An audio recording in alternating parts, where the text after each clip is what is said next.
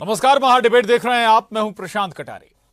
दमोह के गंगा जमुना स्कूल की स्थापना हुए करीब 12 साल से ज़्यादा हो गए, लेकिन प्रशासन को नज़र नहीं आया आखिर स्कूल में चल क्या रहा है। पहले संभव दबाव में अभिभावकों और बच्चों से बयान दिलवाए गए हों, लेकिन अब स्कूल और संचालकों की हकीकत छात्र छात्राएँ बयां कर रहे हैं। चर्चा करेंगे तमाम पहलुओं पर, लेकिन पहले रिपोर्ट दिखाते हैं।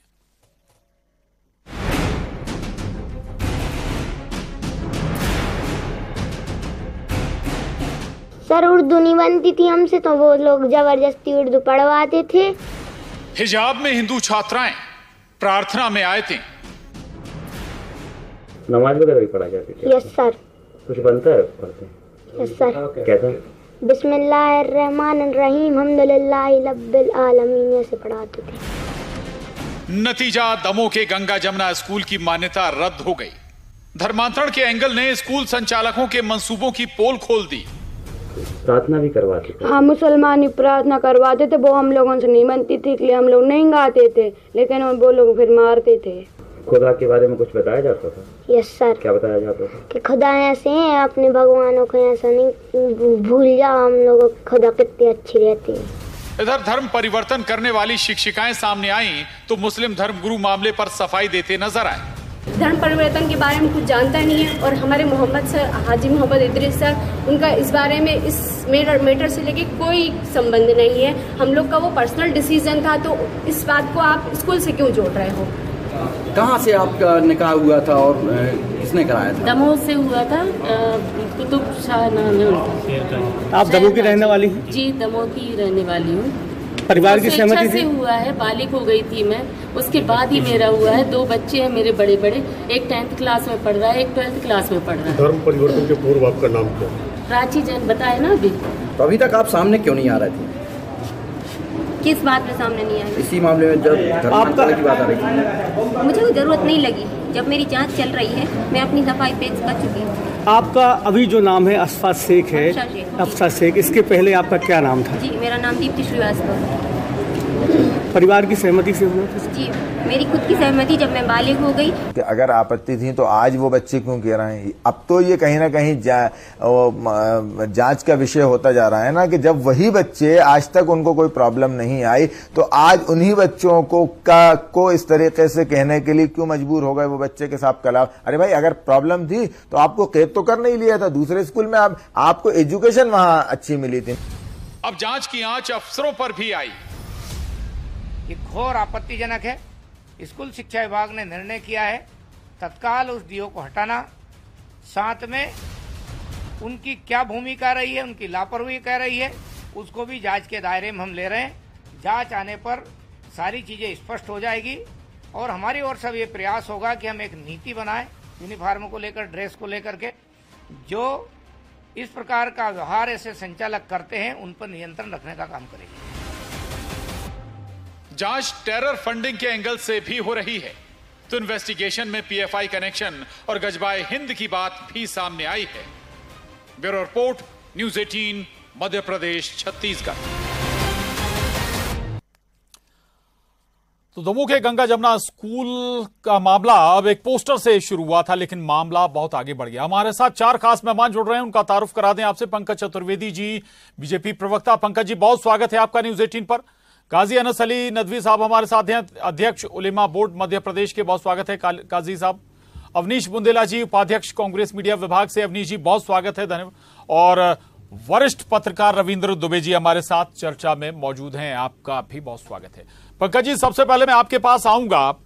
आज जाँच हो रही ठीक बात है। एक्शन है अलग अलग बिंदुओं पर एजेंसियाँ जाँच भी कर रही हैं और अब हर रोज कुछ नई बात निकल कर आ रही है लेकिन बारह साल से ज़्यादा हो गए इस स्कूल को स्थापित हुए। प्रशासन चूक गया आँखें मूल ली प्रशासन ने शिक्षा विभाग देख ही नहीं पाया कि स्कूल में चल क्या रहा है। नहीं देखिए प्रशांत जी आ, हमारे देश में धार्मिक स्वतंत्रता का अधिकार है। मेरी आवाज़ आ रही प्रशांत जी? जी। जी सर जी। मेरी आवाज़ आ रही प्रशांत जी? बिल्कुल बिल्कुल। बोलिएगा। मैं ये आग्रह कर रहा हूँ सर कि हमारे देश में धार्मिक स्वतंत्रता का अधिकार है। और यदि कोई निरपेक्ष भाव से बिना किसी दबाव के निर्विघ्न होकर निडर होकर निर्भीक होकर कोई धर्मांतरण करता है तो उस पर आपत्ति नहीं उसका एक कानून है उसकी एक प्रक्रिया है और इसीलिए हमारे यहाँ धार्मिक स्वतंत्रता है। और इसीलिए धार्मिक धर्मांतरण के विषयों में प्रशांत जी तब तक प्रशासन या पुलिस की कार्रवाई संभव नहीं है विधि अनुसार। मतलब वैधानिक रूप से भी और नैतिक रूप से भी जब तक की कोई कंप्लेंट ना आए। इस पूरे मामले की पंकज जी माफ़ी के साथ टोकूँगा आपको। शायद आपने वो स्टोरी पूरी नहीं सुनी। जो बच्चे शुरुआत में जिनकी हमने बाइट सुनाई आपको उनके हम चेहरे नहीं दिखा सकते लेकिन वो बड़ा स्पष्ट कह रहे हैं कि भाई एक टाइम नमाज़ भी स्कूल में कराई जाती थी। कलावा पहनकर अगर पहुँच गए तो फिर पिटाई भी होती थी। दो तीन बातें और वो छात्र छात्राएँ बता रहे हैं। मैं जी। मैं सर उसी का उत्तर दे रहा हूँ प्रशांत जी कि ये सब बातें अब जब जाँच हुई है तब सामने आ रहे हैं। ये इन इस मामले में कहीं कोई कंप्लेंट शिकायत अभी तक नहीं हुई। और जब तक ऐसे मामलों में जहाँ धर्म धर्म का का विषय है तब तक प्रशासनिक हस्तक्षेप नहीं होता और क्योंकि धार्मिक स्वतंत्रता है। और इसीलिए कल हमारे आदरणीय प्रदेश अध्यक्ष जी ने कहा कि ये लापरवाही नहीं है। ये षड्यंत्र है कि एक धर्मांतरण के एक ऐसे विषय को स्कूल की आड़ में जिसको एक हम एक बहुत पवित्र स्थान मानते हैं। हम क्या मानते हैं कि घर के बाद एक दूसरा सुरक्षित स्थान तो वो स्कूल है? हम अपने बच्चे बच्चों को सुरक्षा के भाव से भेजते हैं। जैसे घर में सुरक्षित हैं वैसे वहाँ उनकी मान सम्मान अस्मिता धर्म संस्कार सुरक्षित होंगे। पर यदि उसकी आड़ में कोई इतना बड़ा षड्यंत्र करे इसलिए कल हमारे आदरणीय प्रदेश अध्यक्ष बी डी शर्मा जी ने कहा कि मामला उतना सरल नहीं है इसके connection Jabalpur Katni terror funding से है और इसीलिए प्रशांत जी इसकी जो जाँच है वो खाली स्कूल शिक्षा विभाग का विषय नहीं है मामला बहुत व्यापक हो गया है। यदि जैन से तबस्सुम बन जाए खरे से खान हो जाए आपत्ति नहीं है स्वेच्छा से हो जाए। पर यदि षड्यंत्र षड्यंत्र के साथ हमने इसीलिए कहा कि ये जो मुख्यमंत्री जी कहते हैं कि क्या कोई प्रेम के विरोध में प्रेम हमारी संस्कृति का अंग है पर प्रेम निश्चल और पवित्र प्रेम होता है। प्रेम हालाँकि हालाँकि वो वो महिलाएँ शिक्षिकाएँ सामने आई हैं। पंकज जी वो कह रहे हैं कि वो स्कूल ज्वाइन करने से पहले उन्होंने धर्म परिवर्तन कर लिया था। प्रशांत जी ये सब जाँच के विषय है सर। जी। कि उनको धर्म कहीं ऐसा तो नहीं कि उनका धर्म परिवर्तन करा इसी शर्त पर कराया कि तभी आपको स्कूल ज्वाइन कराएँगे? ऐसा भी हो सकता है ना? तो ये सब ठीक है। सर इसमें बहुत सारे किंतु परंतु है प्रशांत जी पर सत्य सामने आने दीजिए और सत्य सामने आएगा तो प्रथम दृष्टया जो बड़ा षड्यंत्र है वो सामने आएगा और बहुत शर्म का विषय है है। कि धर्म के नाम पर स्कूल का दुरुपयोग किया गया। सर स्कूल का शर्म आना चाहिए सर। स्कूल का दुरुपयोग सर। इस स्तर पर आप इस स्तर इस स्तर पर षड्यंत्र आ गए सर। कि वो स्कूल जो हमारे ठीक- बच्चों के संस्कारों का उनके भविष्य का निर्माता है? वहाँ ऐसे षड्यंत्र सर। ठीक ठीक है। अवनी जी आपके पास आऊँगा। अवनी जी दमोह स्कूल मामले में आप लोग भी पूरे अपडेट होंगे। बहुत सारी चीज़ें निकल आई हैं जब जैसे जैसे जाँच आगे बढ़ी है। अब भी यही कहेंगे क्या कि बीजेपी चुनावी साल है तो ऐसे मामले खोज लाती है निकाल लाती है? निश्चित तौर पे। सबसे पहली बात तो आप बताए प्रशांत जी किसकी ज़िम्मेदारी। सरकार किसकी ग्रहवाक किसके पास है? और अकेला दमोह नहीं आप देखें पिछले कुछ समय में कई शहरों में इस तरह के केसेस आए हैं। और ये सिर्फ़ केस जो है टीवी की अखबारों की सुर्खियाँ बनाते उसके बाद अगर कहीं गलत है तो इन पर आप कार्रवाई करिए। अब तक मुझे बताएँ चाहे ये दमोह हो या उज्जैन हो या नीमच का केस हो या खरगोन का केस हो कई सारे कई जैसे जबलपुर का केस है। आप बताएँ ठोस कार्रवाई कहाँ हुई? धर्मांतरण आपकी नाक के नीचे पनप रहा है। देखिए ये बात सही कि देश में धर्म की स्वतंत्रता है कोई भी कोई सा भी धर्म ग्रहण कर सकता है। लेकिन जिस तरह से इसको पोषित करके भाजपा के द्वारा इसको प्रचारित किया जाता है तो हमें इस पर आपत्ति है। आपत्ति ये है प्रशांत जी कि सिर्फ़ भाजपा अपनी राजनीतिक ज़मीन एक लाइन इस्तेमाल की पोषित करके प्रचारित करती है बिल्कुल बिल्कुल पोषित हाँ। भी बीजेपी करती पोषित भी मैं वही कह रहा हूँ। और मैं बता रहा हूँ ये जब से कर्नाटका में इनमें हनुमान जी का पंकज जी जी। कर्नाटका में जो हनुमान जी का गधा इनमें पड़ा है उसके बाद ये चारों खाने चित्त हुए प्रशांत जी तब से ये ज़्यादा हो गया। दमोह दमोह भाजपा की कितनी बड़ी प्रयोगशाला है। प्रहलाद पटेल जैसे मंत्री जो नेता जो जिनकी राजनीति का आधार ही सिर्फ़ ये है न, नफरत फैलाने वाली राजनीति वो दमोह से आते हैं। और दमोह मैं कहूँ कि भाजपा की बहुत बड़ी प्रयोगशाला तो ये आपकी नाक के नीचे पनपा कैसे? कहा है गृह मंत्री जी? क्या दीपिका पादुकोण की बिकनी से फुर्सत नहीं मिलती उसका कलर देखने से? कि हमेशा आप बॉलीवुड में ही अटके रहते हो कभी केरला स्टोरी कभी ये स्टोरी कभी ये पिक्चर कभी पृथ्वीराज। लेकिन आपकी नाक के नीचे आपके मंत्री आपके आपके विभाग आपके गृह विभाग में अगर ऐसी चीज़ पनप रही है तो शिवराज जी बताएँ आपने नरोत्तम मिश्रा जी का इस्तीफा क्यों नहीं लिया अब तक? अगर वो इतने अयोग्य मंत्री हैं गृह मंत्री हैं तो आपको इस्तीफा लेना चाहिए। कहीं ना कहीं साबित करता है कि आप खुद ही नफरत फैला रहे हो। क्यों? क्योंकि आप चारों खाने, आप हर तरफ़, हर हर तरह से आप एक्सपोज होकर असफल हुए हो। आप नियुक्तियाँ कर नहीं रहे हो महँगाई के मोर्चे पर आप असफल हो आप किसानों के मोर्चे पर आप असफल हो। आप देखें आप शिक्षा विभाग में सवा लाख पद खाली गृह विभाग में एक लाख पद खाली स्वास्थ्य विभाग में सत्तर हज़ार पद खाली आप नियुक्तियाँ नहीं कर पा रहे हो। टीटी क्वालिफाई बच्चे दो लाख के आसपास 2021 तक के आज तक नौकरियों की मांग कर इसी भोपाल के चौराहे पर बैठे हैं। आंदोलन कर रहे हैं सवाल दे दो। आप नहीं कर पा रहे हो इसलिए छोटा आप इस तरह के प्रपंच खास- रच दो रहे और। मेहमान हमारे साथ मौजूद हैं पंकज जी कम शब्दों में। प्रशांत जी प्रशांत जी भारतीय जनता पार्टी की सरकारों में इस प्रकार के लोग ना तो पोषित होंगे ना संरक्षित होंगे ध्वस्त कर दिए जाएँगे कुचल दिए जाएँगे। लेकिन जैसा मैंने आपसे कहा कि धर्म बहुत संवेदनशील विषय है है। और जब तक कोई जब तक कोई प्रकरण सामने नहीं आता जब तक आवेदक कोई आवेदन नहीं आता इस पर कार्रवाई संभव नहीं सर। इस पर कार्रवाई कैसे कर सकते हैं? और ऐसे मामले कब कब प्रकरण सामने आता है? जब युवती ठगी जाती है जब युवती ठगी जाती है और पोषित करने वाली शिवराज सरकार नहीं है। तो मुझे बताएँ ज़िम्मेदारी का युगांडा के प्रधानमंत्री की है? मुझे बताएँ कि श्रीलंका के प्रधानमंत्री लाभ ले। रही है? किसकी ज़िम्मेदारी का लाभ ले रहे हैं? इस बात को स्पष्ट करें पंकज जी युगांडा के लाभ ले रही है। आएँगे क्या पंकज जी उसका पंकज जी ले चर्चा को आगे बढ़ाएँ। चर्चा चर्चा में रशिया शर्म नहीं करते सर। रवीन जी अनस अली साहब हमारे साथ हैं चर्चा में उन्हें शामिल कर लेने दीजिए। ठीक है ठीक है। कांग्रेस के लोग शर्म जी नहीं करते पंकज पंकज जी आ रहा हूँ। पंकज जी आ रहा हूँ। अवनीश जी अवनीश जी प्लीज़। का जवाब पूछे कि ज़िम्मेदारी किसकी अगर सरकार ठीक की है। नहीं है ठीक है अब आपका सवाल इस पर जवाब लेंगे पंकज जी से। की जो अवनीश जी जवाब लेंगे इस पर। अनस अली साहब है। ठीक है ठीक है ठीक है ठीक है ठीक है ठीक है पंकज जी आ रहा हूँ। अनस अली साहब ये बताइए ना। अनस अली साहब ठीक है पंकज जी आ रहा हूँ। पंकज जी हम कहा ठीक है, ठीक है। सरकार आपकी है। जी। नरोत्तम अरे मिश्रा जी बिकनी से बाहर जी, निकल नहीं पा रहे थे अवनीश जी अवनीश जी अवनीश जी? अवनीश जी दो और मेहमान है हमारे साथ अनस अली साहब मदरसों में क्या पढ़ाया जाता है? हम इस पर कोई हम चर्चा नहीं करेंगे ना कर रहे हैं। लेकिन ये बताइए किस स्कूल में नमाज़ पढ़ाई जाती है?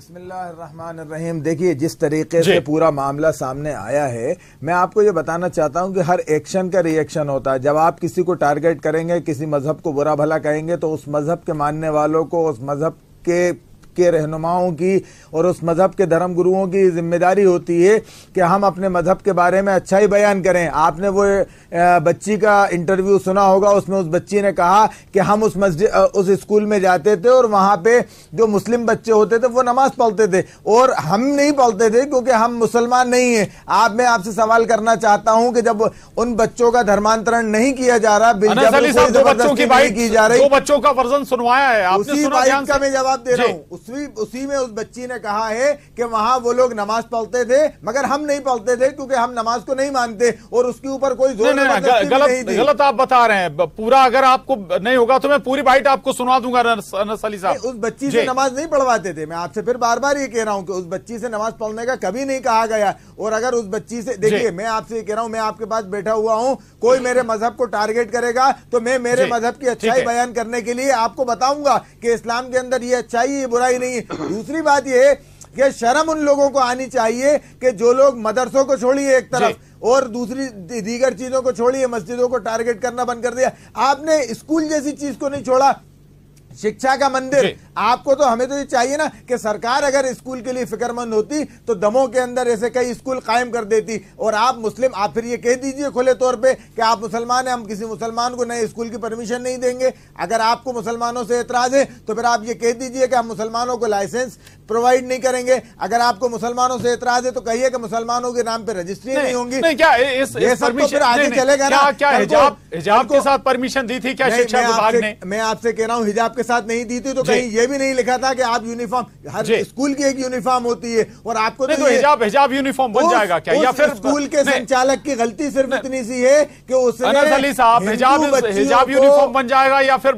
भगवा गमछा बन जाएगा क्या यूनिफॉर्म मैं आपके सवाल का जवाब दे रहा हूँ कि उस स्कूल के संचालक की गलती यह है कि उसने बिना भेदभाव हिंदू मुस्लिम में फ़र्क न करते हुए मंजर आम पर हिंदू बच्चियों का भी फ़ोटो लगाए और मुसलमान बच्चियों को भी लगाया। उसने बताया कि ये स्कूल सिर्फ़ शिक्षा का मंदिर है तालीम का मरकज है। यहाँ पढ़ाई से अपनी ज़िंदगी को संवारा जाता है। है ठीक है ठीक है। मैं आऊँगा आपके पास रविंद्र दुबे जी हमारे साथ हैं। रविंद्र जी पहले बच्चों के अभिभावकों के बयान आए थे मिल नहीं खाते अब जो बयान आए हैं। संभव है पहले दबाव बनाया गया हो चूँकि भाई बच्चे पढ़ रहे हैं। हम आप पर भी कई बार स्कूल प्रबंधन कुछ कहेगा तो मजबूरी में हो सकता है कहना पड़े। आज हकीकत सामने आई लेकिन ये बहुत भयावह है। रविंद्र जी।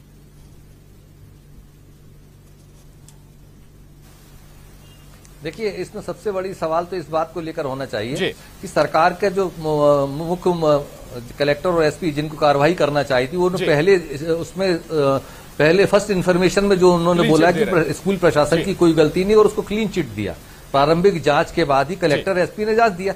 तो सरकार के यदि नुमाइंदे ये बात कह रहे हैं तो हम सबके लिए शर्म की विषय है कि साहब वहाँ कलेक्टर एसपी कह रहे हैं कि उनके पास तो कोई प्रमाण ही नहीं और सब बात जायज़ चल रहा था स्कूल में। और दूसरी बात बताइए कि जो सरकार सरकार के नुमाइंदे हैं सरकार के पास एक गुप्तचर एजेंसी होती है जो लगातार पूरे ज़िले में घूम घूम कर देखती है कि वहाँ क्या गलतियाँ हो रही हैं क्या अशांति फैलाने वाली बातें हो रही हैं। क्या गुप्तचर शाखा को ये नहीं मालूम थी कि बच्चे दस साल से वहाँ स्कार्फ लगा के हिजाब जैसा पहन रहे हैं और वो लगाकर घर तक जाते होंगे घर से वापस स्कूल स्कूल आते होंगे या स्कूल से घर जाते होंगे तब क्या स्कार्फ नहीं दिख रहा था? या किसी माँ बाप ने ये शिकायत क्यों नहीं करी? और क्या यदि क्या इतना ज़्यादा डर था उन वो स्कूल प्रशासन का कि वो शिकायत नहीं कर सकते थे? देखिए इसमें कहीं ना कहीं हम ये कहें कि प्रशासन और गुप्तचर एजेंसियों की खामी है जिसकी वजह से इतना बड़ा हमारे सामने न, सामने आ रहा है। दूसरी बात आज एक नई बात सामने आई है कि स्कूल में जो दो टीचर हैं उन्होंने एक नया बयान दे दिया है कि हमने तो प्रे, प्रे, प्रेम विवाह किया और और स्कूल ज्वाइन करने से पहले हमने उसको वो धर्मांतरण कर लिया था। देखिए यहाँ एक और बात कहने की है कि वो तो चारे नौकरी के वैसे भी ये बात कह सकते हैं। कि उनकी नौकरी जा सकती है उनका घर परिवार उसके आश्रित हो सकता है इसलिए जा सकती है। तो हमारा मेरा ये कहना है कि भाई प्रशासन के साथ साथ यदि उनमें निर्भय निर्भय होकर वो लोग शिकायत करते तो कार्रवाई उचित होती। अब एक और बात यहाँ भारतीय जनता पार्टी के प्रवक्ता कह रहे हैं कि साहब हमारे शासन में ऐसा नहीं हो सकता। तो आप बताइए जबलपुर में ये हो रहा है एनआईए को कार्रवाई करना पड़ रही है। आप देखिए जबलपुर में दूसरी कार्रवाई हुई जिसमें एक लड़की ने मुस्लिम लड़के से शादी कर ली और पूरे शहर में तनाव फैल गया। कल ही एक महिला की हत्या हो गई जिसमें महिला के साथ पुरुष मुस्लिम पुरुष रहता था और उसने मारपीट की पत- पत्नी के साथ और हत्या हो गई। उसके बाद हिंदू संगठनों ने उसमें प्रदर्शन किया और उसमें कार्रवाई करना पड़ी। तो देखिए लगातार प्रशासन का फेल्यूर इस विषय में सामने आ रहा है और प्रशासन की गलती की वजह से चीज़ें सामने आ रही हैं। और एक और बात जो सबसे इम्पोर्टेंट है कि लगातार जब हम सवाल उठाते हैं तो ये बात कही जाती है कि साहब ये तो हम कार्रवाई हम ही कर रहे हैं। हमारी वो हमारी सरकार के नुमाइंदों द्वारा कार्रवाई की जा रही है। तो लेकिन उजागर होने के बाद कार्रवाई हो रही है ना साहब? बाद दस दस साल से यदि स्कूल चल रहा है और वहाँ यदि सब गतिविधियाँ हो रही हैं यदि वाकई में गलत हो रहा है अवैध गतिविधियाँ हो रही है संविधान के विरुद्ध गतिविधियाँ हो रही है तो ये तो प्रशासन का फेलुअर है। और प्रशासन के ऊपर उंगली उठना चाहिए हमारे गृहमंत्री क्या कर रहे हैं हमारे मुख्यमंत्री क्या कह रहे हैं? ठीक बात है। हेलो। पंकज जी इसी बात को आगे बढ़ाऊँगा। ठीक है रविंद्र जी मैं आपकी ही बात को आगे बढ़ाऊँगा पंकज जी। ये बात पहले से कही जा रही है कि भाई ठीक बात है पूरा सिस्टम क्लीन चिट दे रहा था इस मामले को शुरुआती दौर में ही। अगर मामले को मीडिया शायद ना उठाता तो शायद ये हकीकत ही सामने ना आती। वो पोस्टर भी मीडिया ने उजागर किया। पंकज जी। देखिए प्रशांत जी सबसे पहले तो हमारे सम्मानित काजी साहब ने जो कहा तो जिस देश में भारतीय जनता पार्टी की प्रधानमंत्री अटल जी की सरकार के समय कलाम साहब जैसा विद्वान व्यक्ति राष्ट्रपति बनाओ उस भारतीय जनता पार्टी पर जिसका नारा सबका साथ सबका विकास सबका विश्वास सबका प्रयास हो क्या देश भर में निःशुल्क अन्न वितरण अभियान में कोई धर्म के आधार पर हो रहा है? क्या निःशुल्क टीकाकरण अभियान धर्म के आधार पर है? क्या जो विकास की सुविधाएँ संरचनाएँ वो धर्म के आधार पर है? तो मुझे लगता है कि बहुत छोटी बात उन्होंने यहाँ पर कही इतने सम्मानित व्यक्ति होने के बाद कि ऐसा ऐसा आशा है नहीं। और न किसी पर धर्म की संस्था पर हमारा प्रहार है। हमने क्या कहा कि धार्मिक स्वतंत्रता इस देश में है। पर धार्मिक स्वतंत्रता की आड़ में इन प्रकरणों में प्रशांत जी तभी वैधानिक रूप से कार्रवाई संभव है जब तक शिकायत सामने नहीं आती। दुबे जी बहुत सारे अभी किस्से बता रहे थे जबलपुर के। तो भाई साहब जब तक युवती कंप्लेंट नहीं करेगी जब कलाई खुलती है कि उसके साथ छल कपट धोखा हुआ है और प्रेम के नाम पर कपट किया गया है वो कब पता चलता है? जब प्रेम विवाह हो जाता है क्या उसके पहले रोक दें कि नहीं आप भविष्य रखता है कि ये कपट करेगा? ये छल करेगा। और जब शिकायत आती तब कार्रवाई होती। है इसीलिए मध्य प्रदेश में मुख्यमंत्री शिवराज जी ने धर्म जो चल रहा था उसका उसकी इन्फॉर्मेशन तो खुफिया तंत्र के पास होनी चाहिए सर उसी सर हाँ, उसी पर- सर उसी नहीं पर- हुआ खुफिया सर उसी सर उसी पर आ रहा हूँ सर उसी पर आ उसी पर आ रहा हूँ सर। मैंने प्रशांत जी इसी बात से शुरुआत करी थी। कि विद्यालय जैसे पवित्र संस्थान पर जिसको हम मंदिर सा दर्जा देते हैं और हम ऐसा मानते हैं कि हमारे घर से यदि के बाद कोई सुरक्षित स्थान है जहाँ हम निर्भीक होकर अपने बच्चे बच्चों को भेज देते हैं वहाँ पर यदि ऐसा षड्यंत्र हो कि बच्चों को बहलाकर फुसलाकर डराकर जैसी आयु के बच्चे थे वैसा और इसी तो मैंने आपसे कहा कि ये जाँच हो रही है और ये देश में पहली तरी अपनी प्रकार का पहला मामला है जहाँ किसी गंगा जमुना स्कूल के नाम पर इस प्रकार का षड्यंत्र किया जाए। बहुत सारी चीज़ें आ रही हैं। आज शिक्षा मंत्री जी ने क्या कहा? कि ऐसा प्रकरण कभी आया ही नहीं सामने कि जहाँ एक स्कूल का दुरुपयोग किया गया धर्मांतरण के अवैध धर्मांतरण के लिए अध्यापकों से बच्चों तक छोटे तो छोटे आपने आपने कहा कि पहली बार ऐसा मामला सामने आया है। अ, अवनीश जी रिएक्शन उसके बाद में जाऊँगा नदवी जी के पास। मुझे तो आपने दूसरी बार समझ नहीं दे रहे हैं कि रिएक्शन दीजिए। देखिए मैं साफ़ स्पष्ट कर दूँ ये सब हो क्यों रहा है? क्योंकि कमलनाथ जी जिस तरह से कार्य कर रहे हैं कमलनाथ जी को जिस तरह से जन समर्थन मिल रहा है आज मंदसौर में देख लें हर जगह देख लें। और जिस तरह से हमारी योजनाएँ योजनाएँ आ रही हैं जैसे नारियों के लिए जैसे हम पाँच रुपए में सिलेंडर देने की हमने घोषणा की। किसानों के लिए हम सौ सौ यूनिट बिजली फ्री देंगे दो सौ आदि देंगे तो ये सारी चीज़ें देखकर भाजपा घबराई है।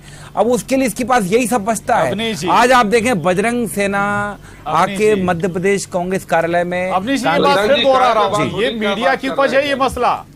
जी पंकज भैया मैंने तो आपको कितने धैर्यता से सुना है, आप मुझे नहीं नहीं मैं भी कुछ नहीं बोल रहा भाई मैं तो कह रहा हूँ विषय पर बात जी जी मैं मैं मैं आप। अब बीच में बोलोगे पंकज भैया तो कैसे काम हूँ चलेगा? बताओ ना। मैं तो मैं हाँ जी जी।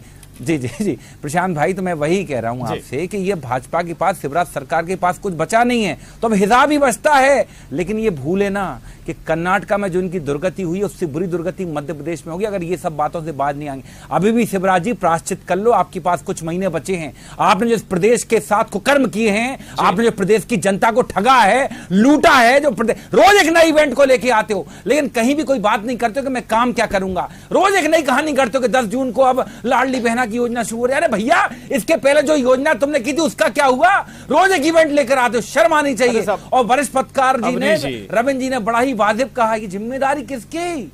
किसकी ज़िम्मेदारी? दस साल से हाँ, स्कूल चल रहा था जिला कलेक्टर सो रहा था विधायक सो रहा था प्रहलाद पटेल जी सो रहे थे प्रशासन सो रहा था और आज आप उसको मुद्दा बना रहे मतलब आप ये मुद्दे लेकर आ रहे हैं। ये मुद्दे चलिए ये ये वाजिब सवाल है आपका बिल्कुल वाजिब सवाल है। अवनीश जी इस पर ज़रूर ज़रूर ज़रूर रिएक्शन लूँगा, लेकिन नदवी साहब के पास जाऊँगा। नदवी साहब, बच्ची को अगर आपने ध्यान से सुना हो या फिर हो सकता है कि हमारे पैकेज में पूरी बाइट ना सुनी हो, वो कह रहे कि अगर हम हिजाब नहीं पहनेंगे तो स्कूल में एंट्री नहीं मिलती है। देखिए मोहतरम मेरे जो भाई हैं प्रवक्ता जो बैठे हुए हैं बीजेपी के उन्होंने बड़ी अच्छी बात कही मगर मेरा सवाल सिर्फ़ इतना सा है मुझे तो दो तीन चीज़ें क्लियर कर दीजिए।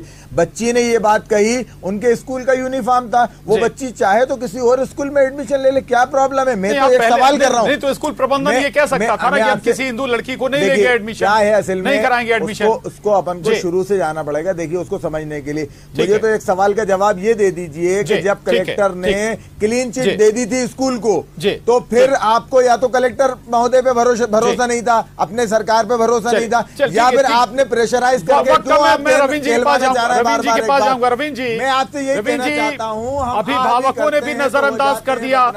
ये एक बहुत बड़ा मसला था। जी।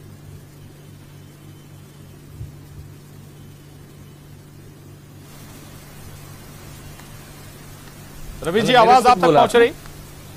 जी जी जी। रविंद्र जी बिल्कुल अगर बच्चे बता रहे हैं हाँ, आ रही क्या चल रहा है अभिभावक भी अगर नजरअंदाज कर देंगे तो ये वाकई चिंता का विषय है उस भविष्य के लिए।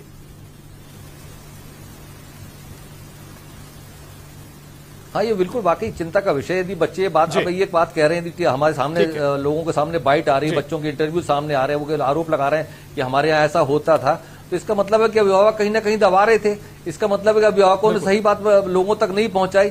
लेकिन एक और बात समाज में है कि समाज में बहुत सारे जनप्रतिनिधि होते हैं। कांग्रेस है भारतीय जनता पार्टी है राष्ट्रीय स्वयंसेवक संघ है मुस्लिम मंच है ईसाई मंच है आरएसएस की सारी संस्थाएँ उसमें शामिल है जो धर्म के नाम पर राजनीति कर रही है धर्म के नाम पर पूरा उनका एजेंडा है। क्या उन तक ये खबरें नहीं पहुँच रही थी? बारह बच्चे जिस स्कूल में पढ़ रहे हैं वहाँ इतनी बड़ी गतिविधि हो रही हो? संविधान के विरुद्ध विपरीत कार्रवाई हो रहा हो? कानून के कानून को हाथ में लिया जा रहा हो? ये हम सब के लिए चिंता का विषय है कि यदि बच्चे इतना ज़्यादा डर के बात कर रहे थे और उनके माता पिता जी मैं रोकना चाहूँगा लेकिन बोल वो रहे थे, जो बच्चे हैं। उनका वर्जन एक बार फिर अपने मेहमानों को और दर्शकों को सुनवाना चाहेंगे। जी। जाते थे तो वो लोग मिटवा देते थे और हाथ में कलावा बाँध के जाते थे तो वो लोग कहते कि ये नहीं पहन के आया करो और मारते थे। कौन करता था ये सब कुछ? सर बड़े सर। कौन थे बड़े सर? बड़े सर। क्या क्या कहते थे? वो कहते थे कि ये सब पहन के नहीं आया करो स्कूल में नहीं चलता। कौन सी क्लास में पढ़ते थे? फिफ्थ। और किस किस तरह से परेशान करते थे? सर उर्दू नहीं बनती थी हमसे तो वो लोग ज़बरदस्ती उर्दू पढ़वाते थे और और, और पहन के जाते थे और जैसे दो दिन गए थे तो मारते थे स्टिक से और उठक बैठक करवाती थी। हिजाब के लिए बोलते थे कि हिजाब पहन इंदर आओगे वरना भगा दिए जाओगे। हिसाब कहाँ से आया था? उन लोगों ने स्कूल से दी। चलिए ये वर्जन है। दोनों बच्चों का छात्र और छात्राएँ जो हकीकत बयां कर रहे हैं स्कूल की चर्चा को हम यहीं खत्म करेंगे। आप सभी खास मेहमान का बहुत शुक्रिया। चर्चा में शामिल होने के लिए डिबेट में इतना ही।